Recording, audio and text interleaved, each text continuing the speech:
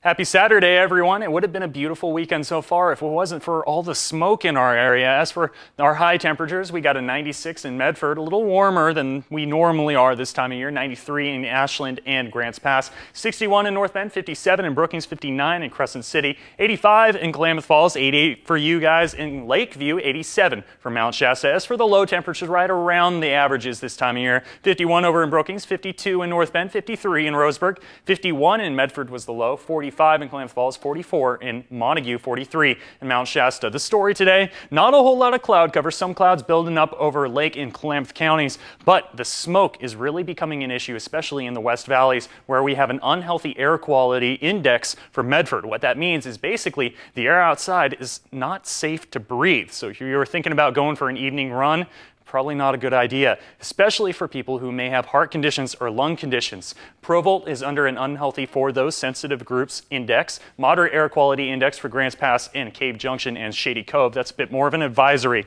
And the air quality is better in Klamath Falls, Roseburg, and Crater Lake, but I can't stress enough that the air out there is slightly dangerous, so try not to breathe it if you can. Same thing for the visibility. We're down to three miles of visibility in Medford because of all that smoke, which could cause some problems, especially for driving around at night. So keep your lights on and drive, or try not to drive if you can. Satellite loop showing our week ahead. We got a high pressure system building a ridge off of the coast right here, and that's bringing us some of the higher temperatures that we're seeing. It's also bringing some of the clear skies, but that's not really helping the smoke situation as we're not seeing a lot of winds to clear a lot of those things out. We will see winds pick up a little bit, which could also cause some issues for firefighters as they're fighting those fires and new fires that may spark up. But as the week goes on, a low pressure system, you can see it out here, will actually move into our area, so we could see some clouds coming into the area. Precipitation isn't likely at this moment, but we'll definitely keep keep an eye on that as the week goes on. That should be rolling in around Tuesday and Wednesday. As for the lows tonight, 52 in North Bend, 50 in Brookings with some cloud cover down towards the south and the coast.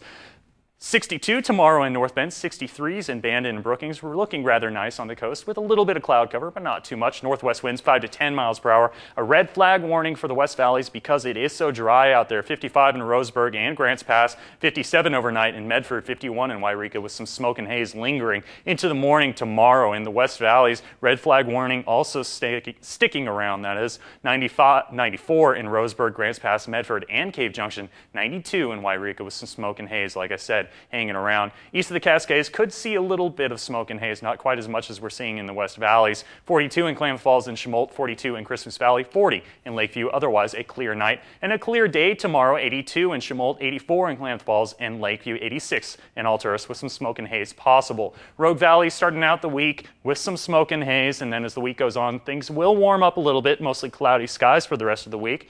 Similar story for the Klamath Basin with a little bit of smoke and haze to start out the week, otherwise around the mid 80s for your highs.